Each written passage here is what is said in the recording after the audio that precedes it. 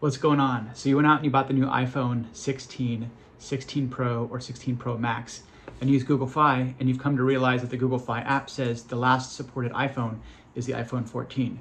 Well, I got an iPhone 16 Pro Max here, and I'm gonna walk you through the process of getting your iPhone 16, 16 Pro, or 16 Pro Max to work with Google Fi. The first thing you'll need is you'll need a new phone. You'll need your old phone that you're currently using, and you'll need a laptop with internet connection. The first thing you're gonna want to do is on your existing phone, go to settings, and then we're gonna go to general. And then at the bottom, you see transfer or reset phone. Now you click get started, and this will help you create a backup of your existing phone for your new phone. You click continue. It lets you know what you're gonna back up. You can click done. And then if you go back to Windows, towards the top, it has a percentage to let you know how much of your existing phone has been backed up on iCloud. Now, if you don't use iCloud or don't know what it is, or you don't have enough storage, not to worry.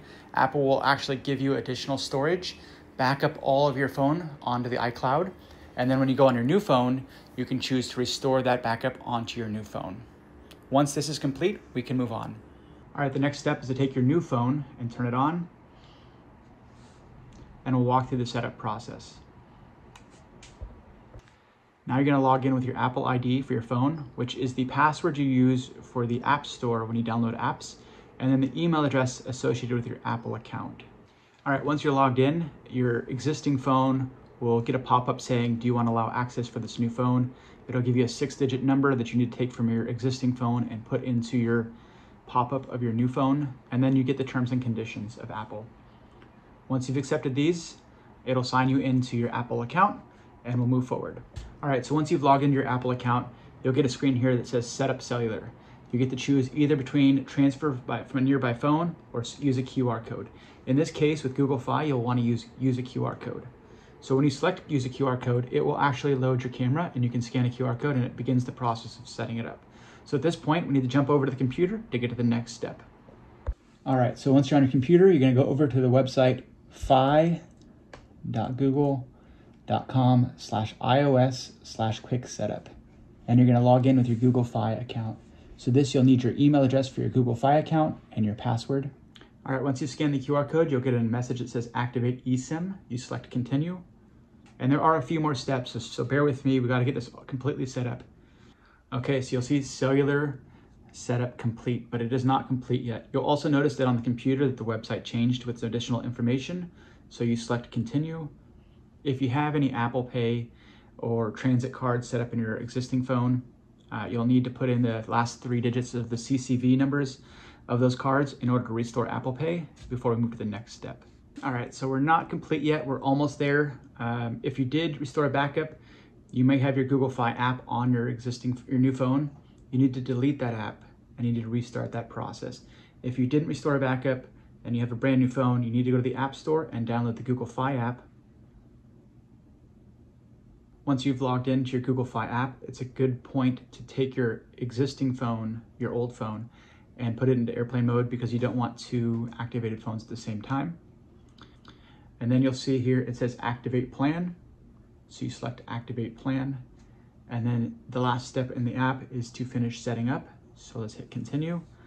It's gonna say to put into the cellular data network, the H2G2 settings.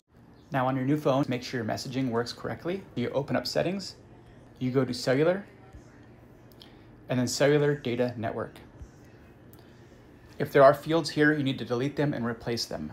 So for cellular data, the APN should be H2G2 and it is case sensitive. So lowercase h 2, lowercase g 2. For LTE setup, you need the APN to be H2G2. For MMS, you need the APN to be H2G2. Additionally, in MMS, there is a field MMSC. You need to delete that URL and replace it with http colon backslash backslash m dot fi dot goog backslash mms backslash w-a-p-e-n-c.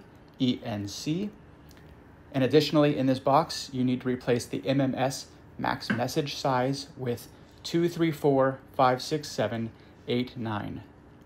Lastly, in this box, you need to replace the personal hotspot APN with H2G2 minus T. Once you've done this, we can move on.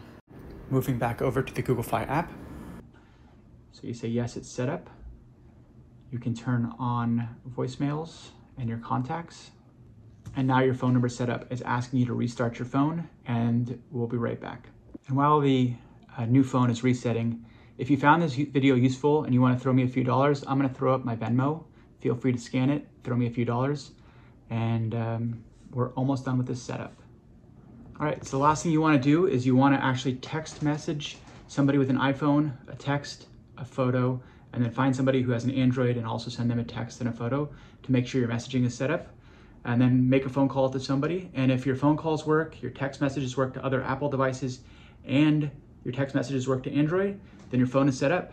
Once again, my name is Adam Timmerberg. I hope you have a great day. Thank you. And I tried to keep this video as quick as possible because time is money and I like money.